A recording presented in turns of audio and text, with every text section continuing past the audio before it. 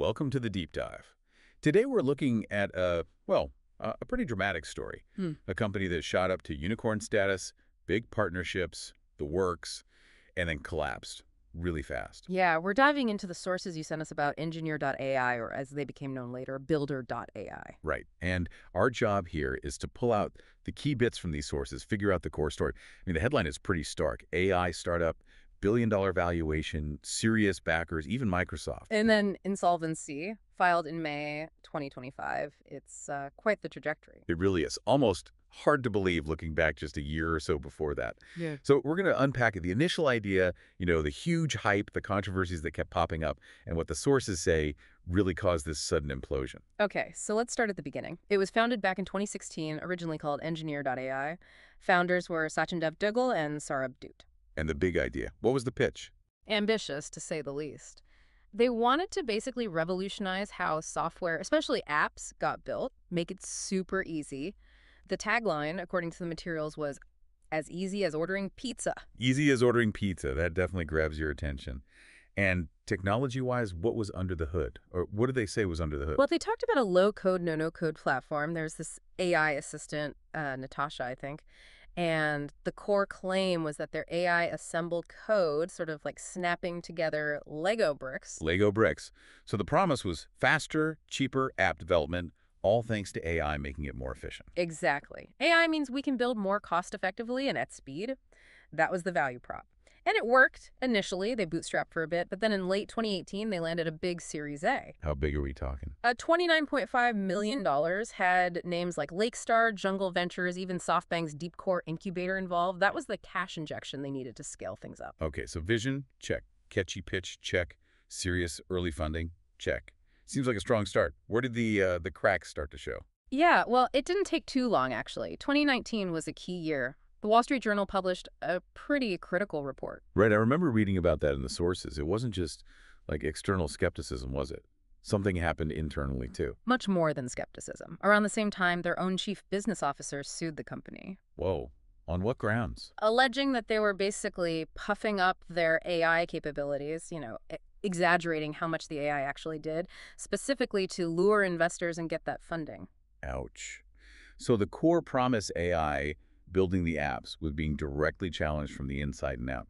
How did the company handle that? The founder, Duggal, pushed back. He called it human-assisted AI, tried to frame it differently, but, you know, the reputation took a knock. Yeah, that human-assisted label sounds a bit like backtracking. It definitely raised eyebrows. And Hmm. this whole episode really flags that ongoing issue, the gap between the AI hype and the, well, the human reality behind the scenes.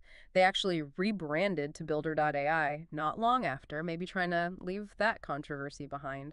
Interesting. But even with that scandal, they didn't just fold. They kept going, right? Even grew. Yeah, surprisingly, perhaps. It shows how strong the market demand was, or maybe just how compelling the AI story still was to some investors. They managed to skip a Series B altogether. Skip B, went straight to C. Straight to a Series C, yeah. Around 2020. And it was a big one $100 million. Insight Partners, the IFC. They got more major backers, kept expanding. Okay, so they weathered that first storm, and then things seem to really take off a couple years later. Hmm. Mid-2023 feels like the peak, based on the sources. Absolutely the peak. This was smack in the middle of the generative AI frenzy. Everyone was excited about AI. Builder.ai was like perfectly placed. They closed a massive Series D round. How mad? $250 million. That's when they eventually became a unicorn valuation over a billion dollars, led by the Qatar Investment Authority. And crucially, Microsoft came in. Microsoft.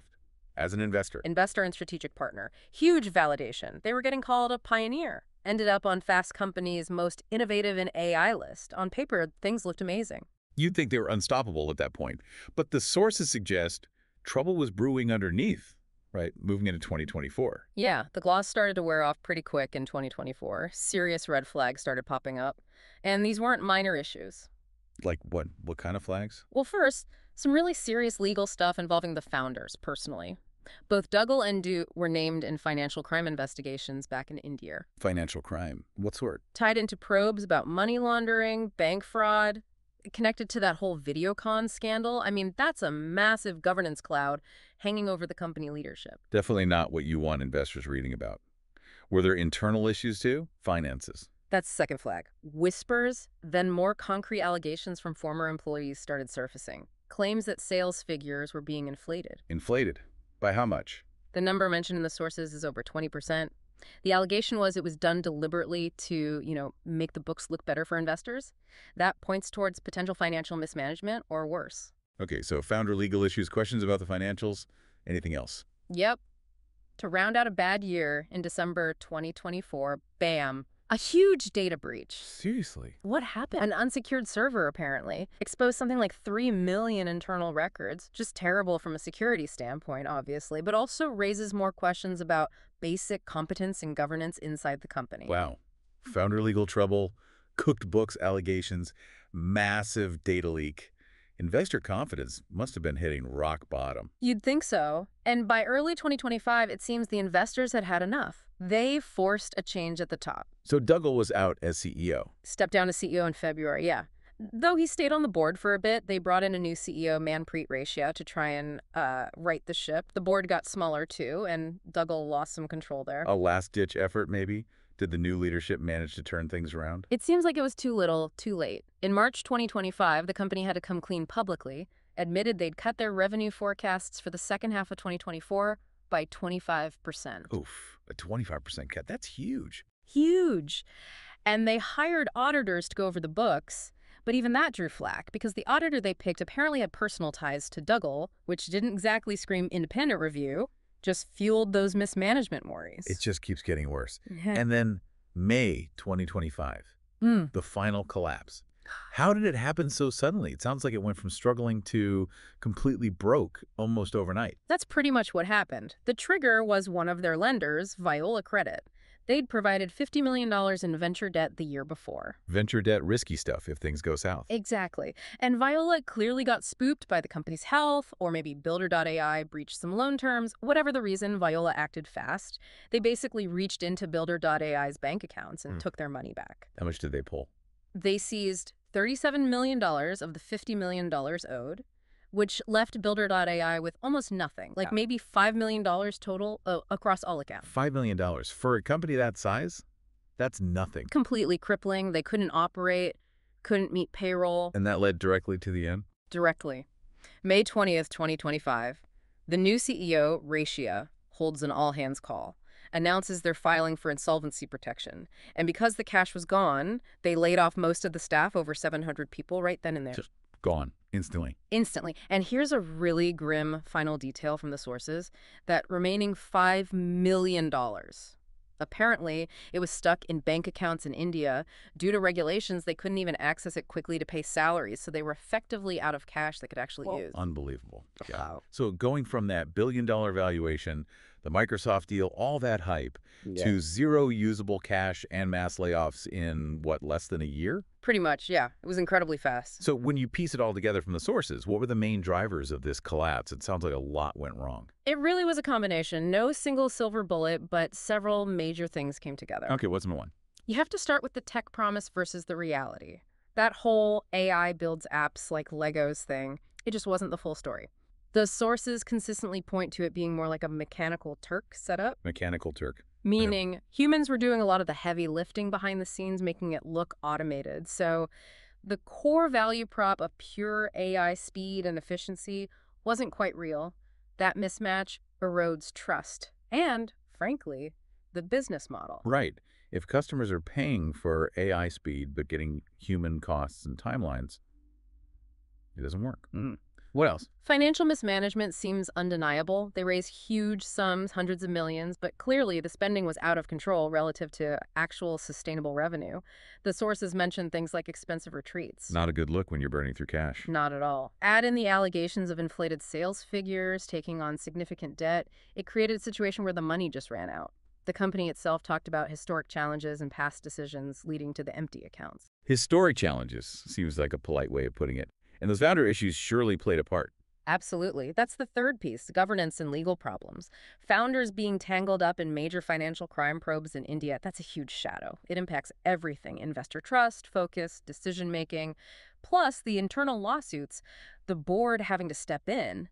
It points to fundamental issues with oversight and integrity. Okay, so shaky tech reality, financial issues, governance problems. Was there also just a basic business model issue? Did they find product market fit? That seems to be the final piece. Ultimately, despite all the money and hype, they struggled to build a truly sustainable, scalable business. They couldn't get enough paying customers at a price point that worked, given their actual cost structure, which involved a lot more human labor than the AI narrative suggested. The revenue just couldn't support the valuation or the burn rate. Product market fit at scale just wasn't quite there. So the aftermath. This story blew up in the tech press, didn't it? Oh, yeah, widely covered. FT, Bloomberg, TechCrunch, The Register, Indian media, everyone picked it up. Lots of commentary focused on the irony, you know. An AI company brought down by very human problems. Like that quote from the Register said, AI-powered, meaning mostly humans and bad decisions. Exactly. It's a stark lesson. Huge funding rounds riding the AI wave. None of it guarantees success if the basics aren't right. It really highlights the danger of overpromising, doesn't it? Especially with technology. Definitely. Due diligence is key. Investors, customers, everyone needs to look past the shiny marketing. Is the tech really doing what they claim?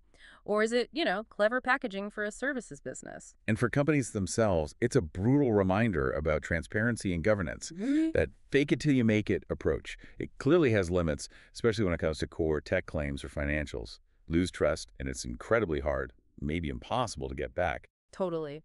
And at the end of the day, building software is hard. AI can help, sure, but the Builder.ai story shows you still need the fundamentals. Deliver real value, manage your money properly, be honest, build a sustainable business. Those things still matter, even in the age of AI hype. It is a powerful story. Billion-dollar unicorn Microsoft partner to insolvent in mere months. Just Mhm. shows how fast things can unravel. Yeah, if the foundations are weak, even the shiniest building can crumble quickly, especially when transparency is missing. Which really makes you think, doesn't it? With Yeah. AI developing so fast and so much money flowing in, Yeah. how can anyone, investors, founders, even just people like you, watching all this unfold, how can we get better at telling the difference? You know, separating the real breakthroughs from just really good marketing hype. That's the billion dollar question, isn't it? A challenge for all of us going forward. Well, thank you for providing the sources that let us dig into this. A fascinating, if cautionary, deep dive into Builder.ai's rise and fall.